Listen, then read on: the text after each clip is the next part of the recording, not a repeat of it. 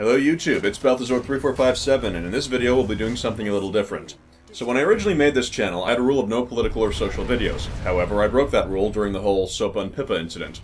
The SOPA and PIPA video was well received, but I had broken the rule I set up. There was now a political video on my channel. That seems to be a taboo for a lot of channels, especially ones related to gaming, and yet my SOPA and PIPA video got quite a positive response. That made me wonder if the reluctance to talk about social or political issues is a little bit out of place. So we're going to do an experiment. This video will be the first of my sociological and political videos that I plan to make, as of me officially making this a variety channel of both game stuff and sociological stuff. Now, I understand that with having an opinion comes controversy, and that's especially going to be true in my case, because I side with neither American major political party. I'm neither a Republican nor a Democrat, and by just saying that, and not being fiercely loyal to one of these two parties, I've already alienated and lost part of my audience from both, which I otherwise would have had grow in size. But I currently make no money from my YouTube videos, so I have less to lose for this experiment, whereas other commentators may have their livelihood depend on appeasing the audience. So that puts me in a unique position. Let's see how this plays out. Is there a market for a channel that mixes gaming content in addition to real-life issues? Maybe there is. I suppose we'll see. Now, the rest of this video is going to be an introduction to what you'll see from me in general. You'll find a lot of George Carlin-esque views for starters, but I told you that I'm neither a Republican nor a Democrat, so you may be wondering, well, what the hell am I? If I had to have some sort of political alignment, it would be closer to the ideas of the original founding fathers of the United States, and they were mostly independents who hated political parties. So that's political alignment, or the closest thing I have to one. So philosophically, what am I? I can't just call myself a Balthazar 3457ian, so what's the closest? I'm not really anything. What I most have in common with would be a meritocrat. The concept in a nutshell is leadership by merit. Whoever is the best leader should be the leader, whatever works best should be used, but you should keep experimenting and looking for new ways to keep improving the system. And that's what this video is right now, an experiment, because I want to see what will happen. Now that's still too vague, there are different types of meritocrats with conflicting ideals. Some meritocrats argue that performance on aptitude tests and academic grades should determine one's place in an organization. I disagree with this on the grounds of tests being given unreasonably inflated value, and our educational system being flawed to the extent that the academic system doesn't produce reliable results anyway. I favor meritocracy by displayed merit, not by academic merit. A video game analogy would be, if someone is really good at blowing up tanks, maybe he should be the one to be tasked with blowing up tanks. Some of the major criticisms of meritocracy will be directed at academic merit, and I agree with those criticisms. I'll give a business world analogy. A business may hire someone with five years of experience with no degree, or someone who spent five years getting a college degree. Academic merit would be the latter. Displayed merit would be the former. Now, I don't align myself with any one school of thought because I don't think doing so is healthy. I have no alignment to a meritocratic party, so don't lump me in with the British Meritocracy Party or Singapore. I see issues with both. However, I think meritocracy gives me the best template to start off with at this time for the issues we currently face. I call myself a meritocrat because calling myself a Balthazar 3457 is silly, and I don't have a legitimate name to encompass my ideas, and I think that the problems with meritocracy can be addressed easier than with other alternatives, thus giving me a template to work with. And that's part of the goal, create a system of government capable of adapting to remove its own flaws. Meritocracy has some adaptation advantages, therefore it's my starter kit, basically. But still, I can't really call myself a meritocrat and have the statement be completely true. I have no legitimate alignment that I found, just aspects that I lean on more than others. So the way the videos that are of a political nature are going to work is I'm going to tell you what I'd like to do and why, and it's not going to be aligned with any sort of party. So my goal when it comes to the topic of a nation would be to build a nation that's capable of indefinite survival while thriving. A short-term goal would be to build one capable of lasting for 500 years. And that would mainly be in the interest of securing more time to create one capable of perpetual survival. To define it as thriving, it needs to be making forward progress while providing a dependable standard of living for its people. Now by taking this view, you detach yourself from much of morality. Some people mistake that for utilitarianism. While some ideas are similar, to compare it to utilitarianism, the idea of being utilitarian is to totally remove any and all moral concepts, including those of practical value. The classic argument against utilitarianism on moral grounds is that if a healthy person walked into a hospital, he should be killed and have his organs harvested to save five in need of a liver, heart, etc. I would argue against it on practical grounds because if our society suddenly imposed that kind of a rule, the result would be that no one would go to a hospital, and most would leave the country to seek medical treatment elsewhere if possible. This would then result in a much more weakened medical industry than we already have, among other severe drawbacks. The idea of meritocracy, or at least my version, in the context of a nation, is to practically build the best society. What society is capable of surviving and thriving forever? How can you realistically expect to beat the sands of time? And if you can't, how close can you get? How far can we really go? How can we take the system to its maximum potential? By having that goal, you may also qualify as a transhumanist or a pragmatist, and in my case I qualify as both. But like meritocrats, there are different ones with different points of view. I was led to meritocratic views via practicality, so technically you could identify me as a pragmatist, a transhumanist, and a meritocrat. And each one would be somewhat correct, but not fully correct. I'm about what's practical. I currently think meritocracy is the practical solution, therefore I am closest to being a meritocrat. At least for now. Now, most people are okay with my morality so far because most people don't think it's okay to kill people and steal their organs just because they were healthy. However, it also means that I don't perceive very much as inherently special or sacred. A lot of Americans wave the constitutional rights around on the grounds that they are the constitutional rights and therefore sacred. And I don't believe humans have any sort of sacred national heritage. And I don't think people should say they need something because it's sacred or traditional. What I would argue is that, well, the Founding Fathers created certain rights for a reason, and turning our backs to their advice may be unwise. So I don't support the Constitution because it's the Constitution. I support it because I think what it says has a causal link to maintaining a society. This also means that I don't much value ethnic pride or national pride. I think that if someone is proud of something and attributes pride to themselves, they should have accomplished something worth being proud of. Being born into a nation or into a skin color is something that happens randomly, not something you work for and achieve. Therefore, I perceive it as having low value.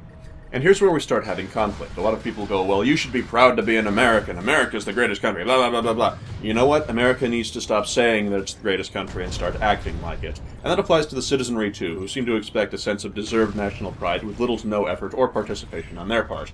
And that's not a problem just in the United States. That's a problem all over the world.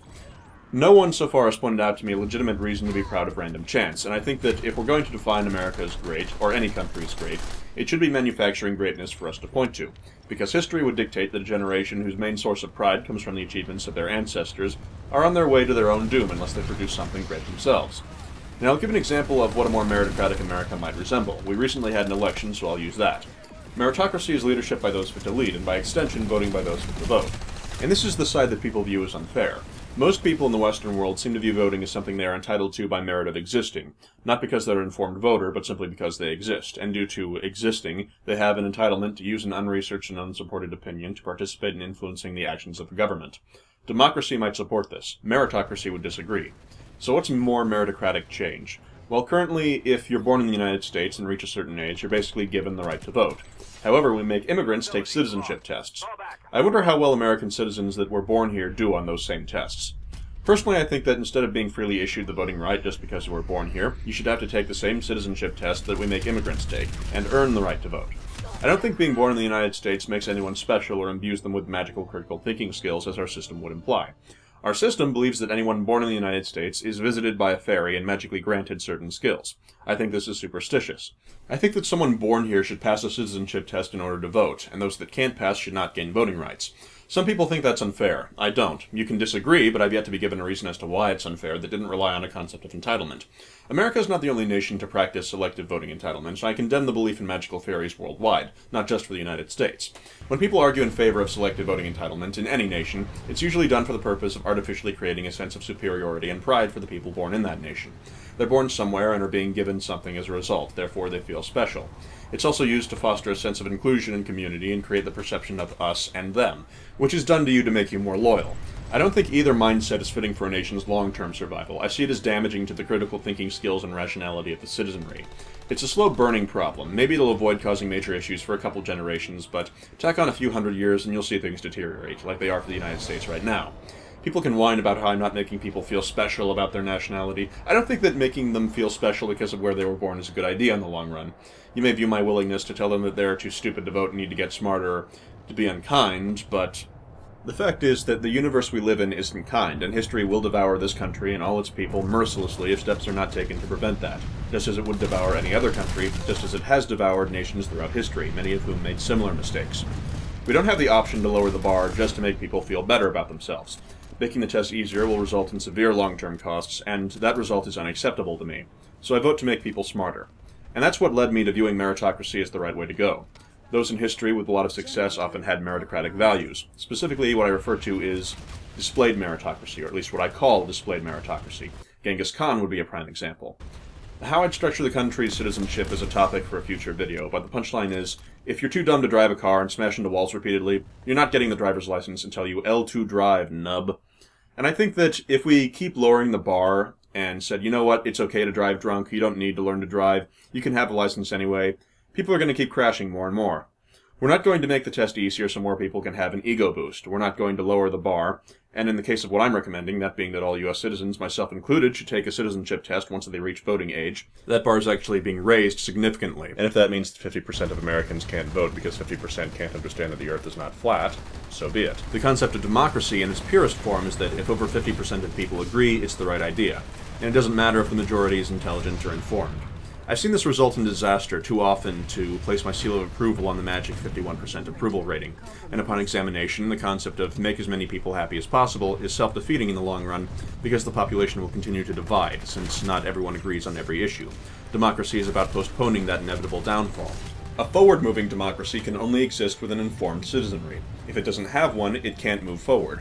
So I'd say we need to be more meritocratic, and make the people smarter. It's a means to address these issues. We don't have an intelligent and informed citizenry. Okay, we'll make an intelligent and informed citizenry. That basically sums up the direction you'll see my videos come from. How can we build the best nation in the long term? What's the most practical outcome? What's a realistic outcome? They're about solving these problems. Now, I've noticed that that's not common in commentaries. People usually criticize something and gain lots of support for criticizing it, but no one wants to put forward an alternative solution, and I think I know why. There's two reasons that I see. The first is that if an option turns out wrong, people don't want to be responsible, because our society stigmatizes experimentation. A scientist can't take it upon himself to see what will happen without an army of people attempting to discredit him if the experiment has negative results, even if he predicted it would.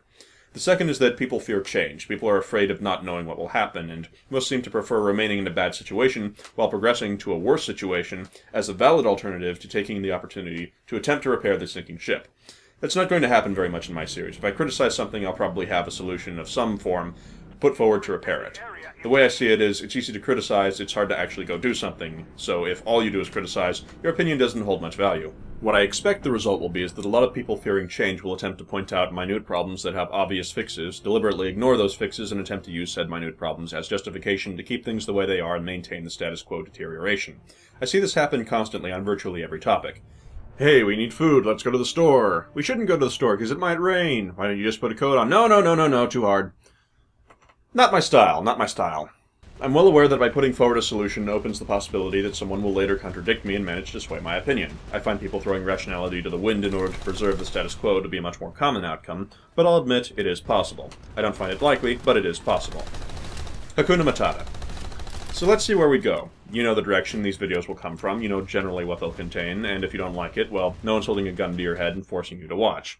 If that content interests you, stick around. Let's see what happens. Maybe there is an audience for me. Maybe people will be interested in hearing what I have to say. Hopefully we'll be able to get some decent discussions going in the comment section. Let's see what happens. Let's find out. I'll see you next time.